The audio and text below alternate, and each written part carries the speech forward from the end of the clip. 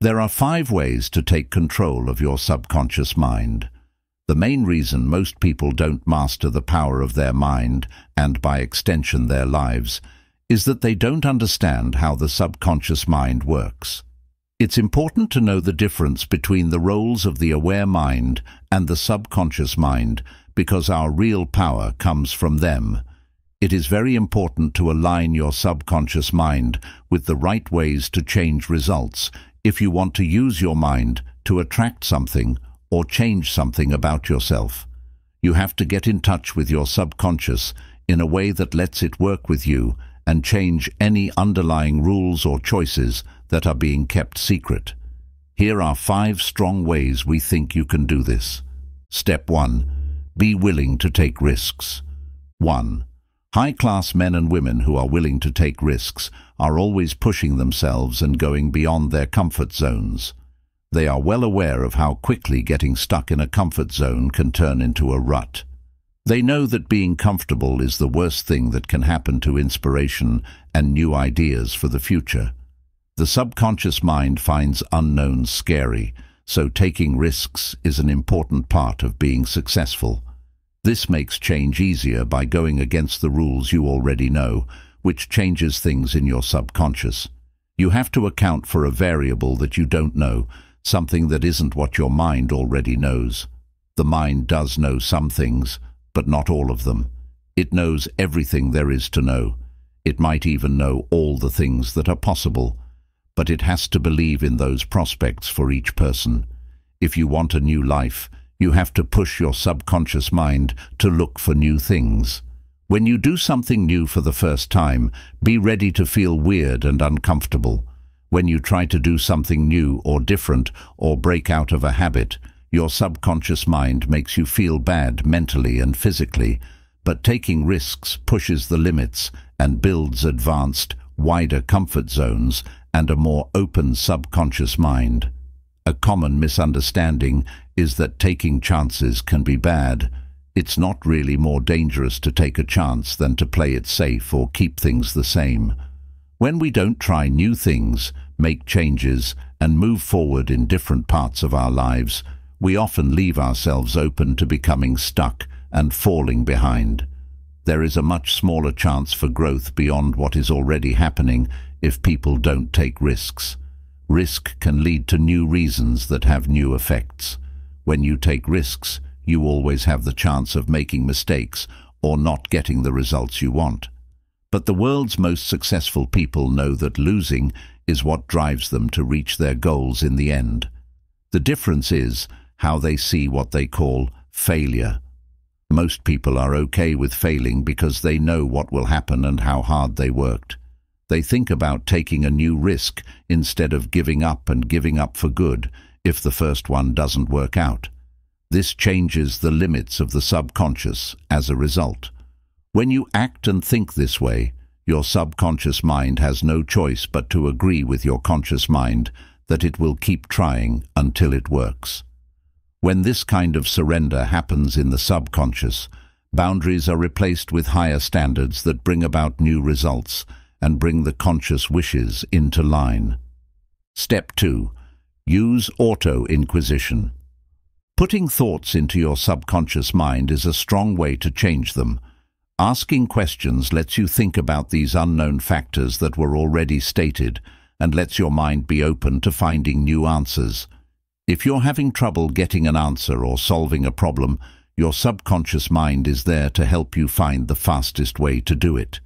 It takes the road with the least amount of pushback and works on the concept of least effort. Again, this is to make sure you stay alive. Can you not answer a question? Could you skip this one? It is important to remember that your subconscious mind replied all of those questions before you even knew what you were saying. The brain can't say no to a question. Before it can even think about being a question, it has to turn the question into an answer. We can make good use of this. The secret is to make the question very clear so that it can get through the walls of the subconscious mind. What else is possible that I have not yet considered? is a type of question that lets this happen. When you ask this question, your subconscious mind has to go, look for something unknown because it has already thought of every possibility it knows of. It will keep looking until it finds the answer. When you phrase questions about your wants in a certain way, your subconscious starts to look for answers right away. Some examples of these kinds of thoughts are, how cool is it that I have so much money? What am I going to do with all this extra cash? What do I need to get ahead in life?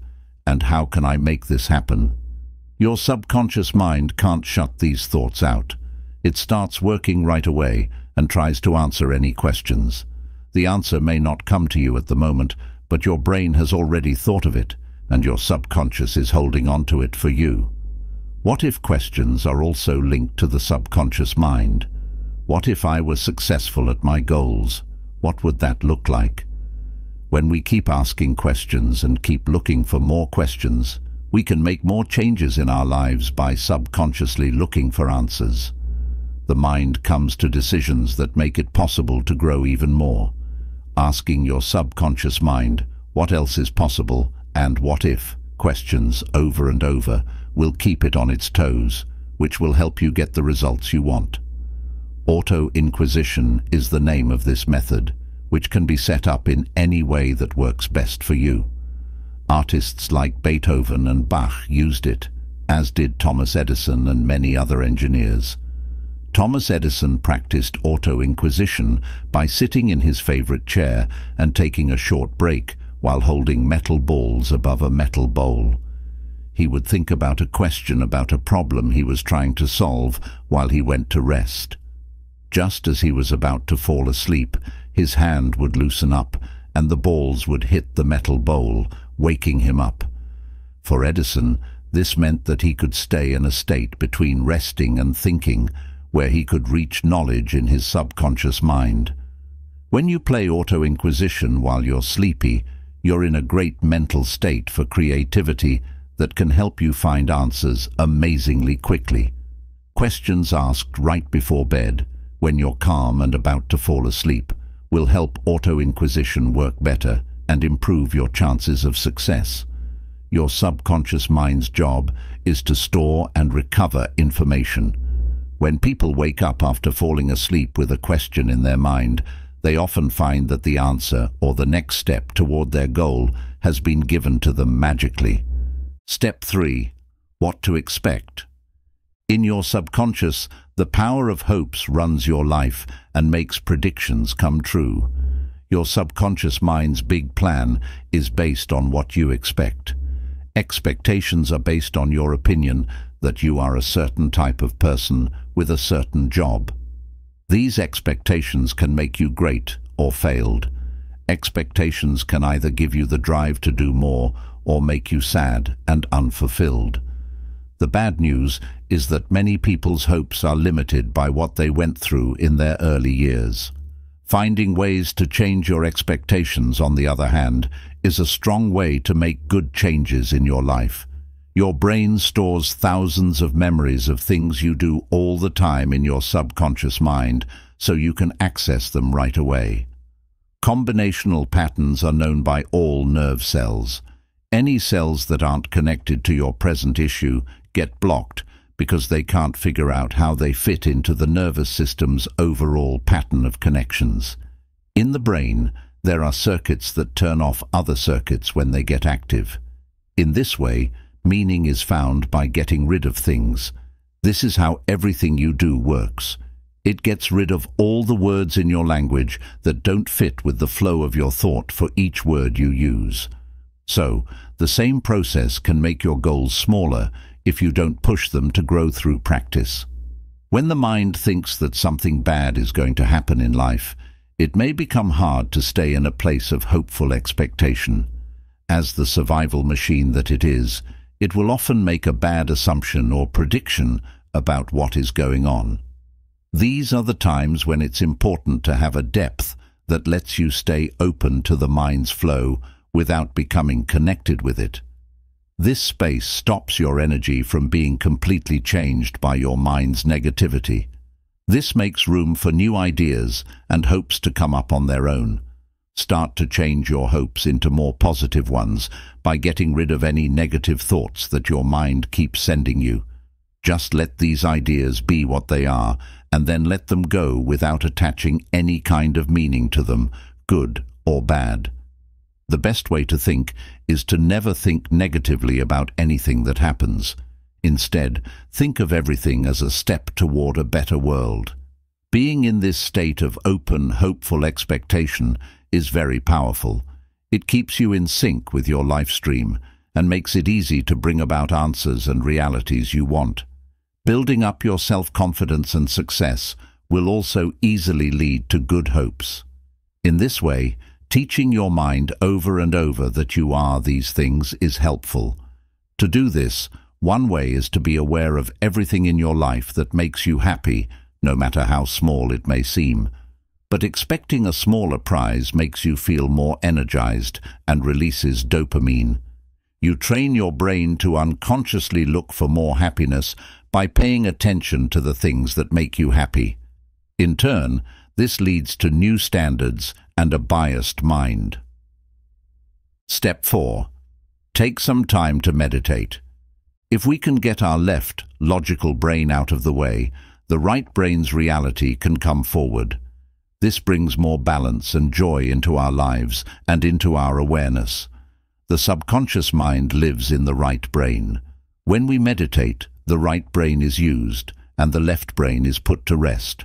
After that, the right brain is given more power. By placing our wants and goals here, we can more effectively bring them into being and make things happen. This makes both sides of the brain work better together and gives you more power. To put it another way, deciding on purpose to work on your effects gives your subconscious mind a chance to lead the way. If you have never meditated before, all you have to do is find a quiet place, close your eyes, and take a few deep, long breaths to calm your mind and body. Pay attention to how your thoughts come and go at random, and then let them go without trying to hold on to them. Start to pay attention to the way you naturally breathe. If you notice that your mind is wandering to thinking, gently bring your attention back to your breathing the number of thoughts you have will slowly go down as your breathing gets more regular and your body relaxes. Focus your mind on what you want to do. During this state, your mind is in a place where whatever you focus on will be firmly etched into your subconscious. Meditation is a way to sleep without falling asleep. Scientists have found proof that people who meditate are more aware of what their brains are doing without them realizing it. This makes them feel like they have more control over their bodies and their lives. In the same way that sleep gives you energy for daily tasks, meditation gives you creative energy for what you want to do. Mindfulness training helps people reach their goals by letting them consciously access the power of their subconscious mind. It has also been shown to help people reach a better level of consciousness, become more focused, creative, self-aware, and calm. The part of the brain that constantly refers back to your point of view and experiences, along with its strong, tightly held link to body feeling and the fear centers, starts to break down when you meditate regularly. It is no longer thought that a physical feeling or a short-lived fear means something is wrong or that the self is the problem, as this link weakens. So, as you start to break the link, it gets easier to ignore worry symptoms, leaving behind a more positive, healthy and logical subconscious mind. As time goes on and practice is put in, people become quieter, more empathetic and more sure of how to react to things, people and events in their lives. When it comes to wants, this kind of behavior sends out an energy that is good for getting what you want. Still, it's important to meditate every day to keep the new brain paths that you create through meditation. Keep in mind that there are different ways to meditate, and each person should choose the one that works best for them. Step 5. Learn to receive with awareness. You can teach your subconscious mind that you can receive the things you want. This is one of the best ways to get what you want. You have to send out the message that you deserve everything you want, and then be ready to receive it. Imagine that your mind has a receiver that can send and receive sounds to get your request to you. Your mind uses vibrations in the same way that a radio listener does. It uses an antenna to pick up radio waves, processes the ones that are moving at the right frequency, and then sends the sound through speakers. Believe that you are worthwhile, not good enough, distant, and unlovable, even if you feel these things. Your worth and perfection were already there when you were born, and nothing you do, be, or have can change that. These views are just old habits. It's interesting that most people are better at giving than receiving. This is because giving makes someone happy or gives them something good. To be a good listener, you need to practice, be close to the person, and let them in. When you're a good receiver, you show respect for the person who gave you by giving them the same reward, the pleasure of seeing you receive. Being grateful for what you have is fine. In fact, everything in the world wants to party with you. Also, the more we get, the more we know we need to give. Get better at this by accepting praise with grace and not putting the blame on the other person. Thank them and take it. This might be unfamiliar to your mind at first because it is uncomfortable. Still, you'll notice that after a few times, you'll feel less uncomfortable and more grateful for the praise and yourself. For your mind to open up to, this sets a new limit. Pay attention to the good things that happen in your life and be thankful for them. Being grateful means recognizing that what's happening makes you happy so that more good things can happen to you. It also shows that you are aware that you are receiving good things. You can get more if you are thankful for what you already have. Based on how you feel, your subconscious mind will work hard to find more of what makes you happy. Don't think about what you don't have. Instead, be thankful for what you do have. Everything in your life, people, places, things, and even your problems is helping you grow and make more of what you want. Repeat the phrase, I am worthy to yourself as many times as you need to until you believe it. This auto-suggestion will help your subconscious mind show you the truth of that statement more and more as you use it. Determine to get what you want and know that everything in the world is there to help you. Most importantly, work on liking yourself even when other people don't agree with you. Changing your subconscious mind for the better is a habit, not a theory. This caring energy automatically brings more of what you love to you. In other words, if you really want to make changes in your life, you have to put in time and work to do so. The subconscious mind is a powerful machine that can do anything. Anyone can change its programming to make it work for them, or they can let their old programming control them. You open yourself up to new situations and opportunities in life when you let your beliefs change. This also gives your goals more power to come true more easily. Realize that your feelings and thoughts are just strong, pure energy. Your ideas have a direct impact on what you draw because of what you think in your mind and feel in your body. Because of this, each of us can send good energy to our minds to create the life we want. Everyone has the power to use their mind to get rich, lose weight, have happy relationships, stay healthy, and have fun. By using the power of their subconscious minds, people have magically gotten better from diseases that were thought to be deadly and brought in a lot of money. It's possible for your conscious mind to be the farmer and it can grow anything you plant. Choose the seeds you want to use and put them in the garden of your subconscious mind. Cover the seeds gently and water them every day while they are out there. Soon, a wonderful thing will start to happen somewhere under the ground. The beautiful ground of the subjective mind responds with the seed.